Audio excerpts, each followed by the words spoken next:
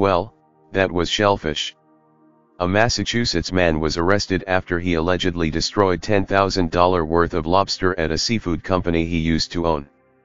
Sandwich police said Joseph Vaudo was caught on surveillance cameras last week shutting off the power and oxygen supply to a Cape Cod shop's live seafood tank.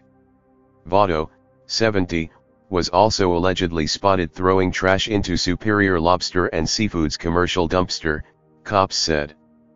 The crustacean were left without enough air or water flow for about 9 hours, NBC Boston reported.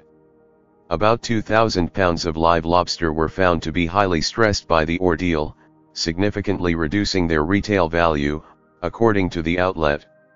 Vaudo was ordered in December to give up ownership of the market to a commercial rental property business amid bankruptcy proceedings, the Cape Cod Times reported.